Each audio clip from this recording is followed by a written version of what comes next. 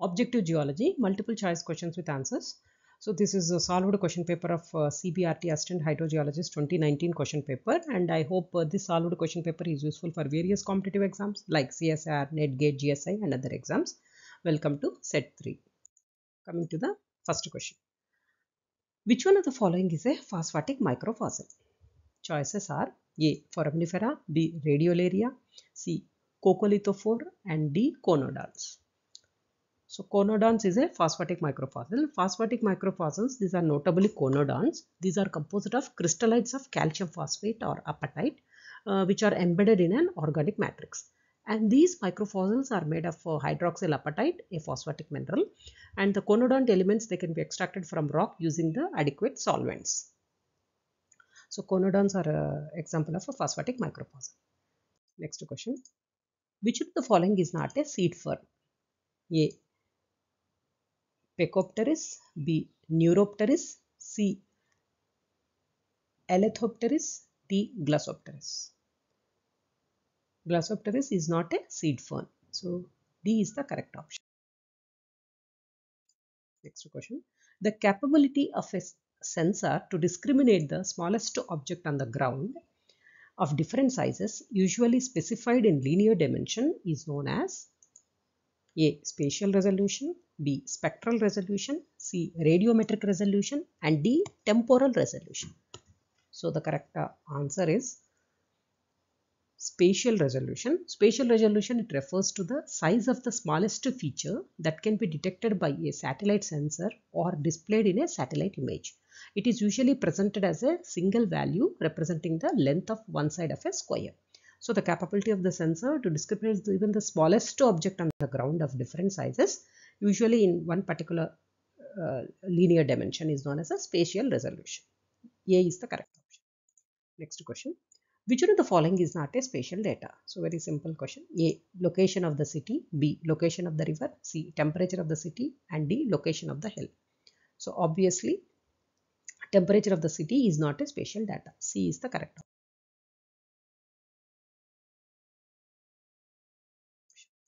Question. Which one of the following is not related to topology? A. Adjacency. B. Containment. And C. Connectivity. And uh, D. Attribute data. So attribute data is not related to topology. D is the correct option.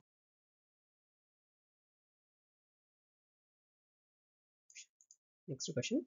Which one of the following non-spatial scales would you select for recording of snow depth in GIS database? A. Nominal scale B. Ratio scale C. Ordinal scale and D. Interval scale. So generally ratio scale it's uh, this is a uh, non-spatial scale this is uh, selected for recording of snow depth in GIS database. B is the correct option. Next question. What is the spatial resolution of LISS3 camera of IRS-1C? Options are A 72 meters, B 36 meters, C 23.5 meters and D 6 meters. So the correct answer is C 23.5 meters. So LISS3 camera it provides multispectral data in four bands. The spatial resolution for visible that is for two bands and uh, near infrared one band is 23.5 meters uh, with a ground swath of uh, 141 kilometers. The fourth band that is of a short wave infrared band it has a spatial resolution of 70.5 meters with a ground swath of 148 kilometers.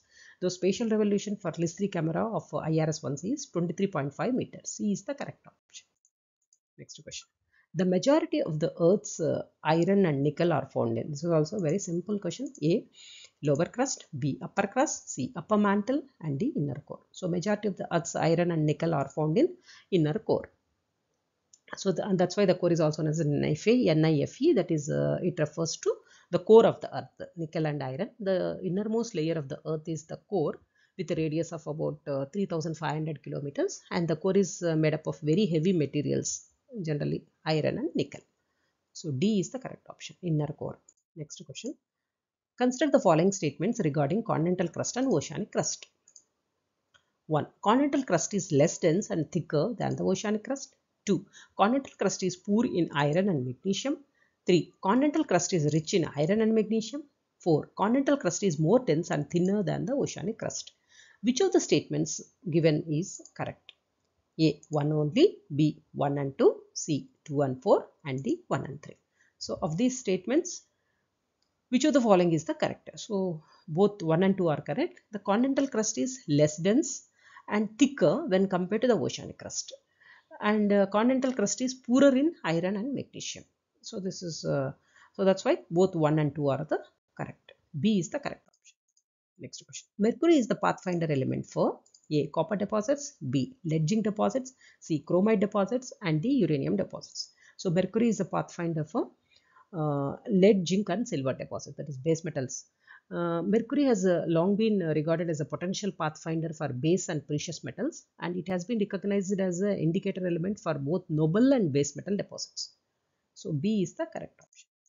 Next question. Gossan is used to identify a buried A. Sulfide deposit of epigenetic origin, B. Auriferous vein and C. Copper porphyry deposit and the Multi-mineral zinc silver deposit. So Gossan it is used to identify buried uh, sulfide deposit of epigenetic origin. So Gossan uh, it's a rust colored oxide and hydroxide minerals of iron and magnesium that cap an ore deposit. So what is a Gossan? It's nothing but a rust colored oxide and hydroxide minerals of iron and manganese which will cap the deposit and uh, they form by the oxidation of the sulfide minerals in an ore deposit and uh, thus they may be used as a clues to the existence of uh, subsurface ore deposit especially if uh, distinctive boxworks are present. So gossan is used uh, to identify a buried sulfide deposit of epigenetic origin. A is the correct option. Next question. Radon or uh, that is uh, uh, radon 222 is gas is used in prospecting for A, uranium, B thorium, C silver and D antimony. So radon is used for prospecting uranium. Radon has uh, proven useful in exploring for not only uranium but for other associated elements also. It has uh, also been used successfully in exploring of geothermal sources and also in earthquake prediction and in many other applications. So A uranium is the correct. Next question. The most important hydrochemical indicator for petroleum is A. Naphthenates, B. Ethanol, C. Humic acids and D. Brines. So the most important hydrochemical indicator of petroleum is naphthenates. Uh, the uh, so naphthenes, uh, uh, nothing but these are the cycloalkanes or cycloparaffins. These are also called as the naphthenes uh, in the petroleum industry. These are saturated hydrocarbons containing structures with carbon atoms uh, linked in a ring-like fashion. So A naphthenates is the correct option. Next question. Which one of the following is not a manganese mineral? A. Pyrolusite, B. Sitaparite and uh, C. Rendenbergite and D. Smithsonite. So the correct option is D. Smithsonite.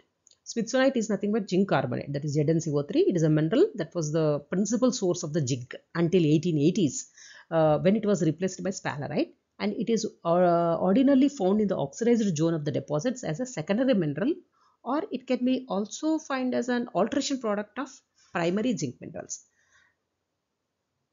So Smithsonite is not a manganese mineral. Next question. Which one of the following deposits does not occur in Archean greenstone belts? A. Gold, B. Platinum, C. Aluminium, D. Chromite. So the deposit which is not which will not occur in the Archean greenstone belts is obviously aluminium. Whereas you can see uh, the gold, platinum and chromite you can see in the Archean greenstone belts. C. Aluminium is the correct option. Next question. Which one of the following deposits formed at oceanic ridges? A. Sulfide, B. Carbonate, C. Oxide and D. Phosphate. So sulfide deposits are formed at oceanic ridges. Uh, the neovolcanic zones of uh, mid-oceanic ridges, these are the host to seawater uh, which are derived by hydrothermal system forming seafloor massive sulfide deposits. These are also known as SMS deposits that is seafloor massive sulfide deposits and these deposits have high concentration of base metals and potentially uh, these are the economic enrichment of a wide range of the trace elements as well. So A sulfide is the correct answer. Next question. The Khetri belt of Rajasthan is famous for it's a very simple and straightforward question. So Khetri copper belt. Khetri is well known for copper. That is uh, uh, the choices are A gold, B iron, C copper and D coal. And Khetri this is situated in the foothills of the Aravalli range. Uh, which hosts copper mineralization giving rise to 80 kilometers long metallogenic province from Singhana in the north to Raghunathgarh in the south and this is popularly known as Khetri copper belt. C is the correct. Next question. Which one of the following ore deposits having ferruginous character occur in Kalahandi area of Odisha? A. Bauxite. B. Copper. C. Galena. D. Diamond. Which deposits uh, have ferruginous character in Kalahandi area of Odisha? So that is the correct option is bauxite. Kalahandi is famous for the production of the bauxite and it is located in Odisha and other bauxite minerals in India, uh, these are seen in the Sambalpur also. So A bauxite is the correct answer. Next question. The method which involves the forceful injection of slurry of water and cement into the fractured rocks of the site is known as A. Backfilling, B. Lining, C. Cement stabilization and D. Grouting. So the, uh, the correct option is grouting. So grouting involves the injection of the appropriate materials and a pressure into certain parts of the earth's crust through specially constructed holes or openings in order to fill and uh, therefore you can also seal seal voids cracks seams fissures or other cavities in soils or rock strata so the method which involves the forceful injection of a cement and water into the fractured rocks at the site is known as a grouting d is the correct option. Next question. The walls constructed on both sides of the crest of a dam are known as A. Retaining walls, B. key walls, C. Safety walls and D. Parapet walls. So the walls constructed on both sides of the crest of a dam are known as the parapet walls. These are uh, the low protective walls on either side of the roadway or the walkway on the crest of a dam.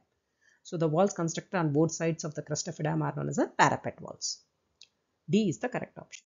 Hope you have followed these questions and uh, thank you for your time. See you in the next video.